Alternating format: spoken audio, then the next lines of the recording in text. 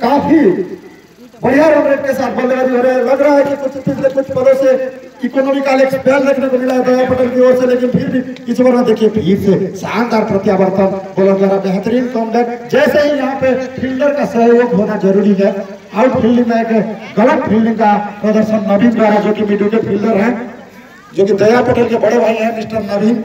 छोटे भाई की बॉलिंग में बड़े भाई का मिस फील्डिंग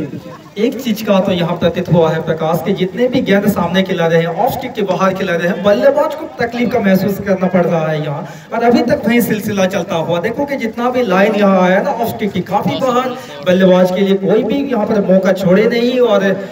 बहुत ही अच्छा गेंदबाजी का नमूना दिखाते हुए। दस ओवर की परिसमाप्ति पर दलीय स्कोर वन हंड्रेड एंड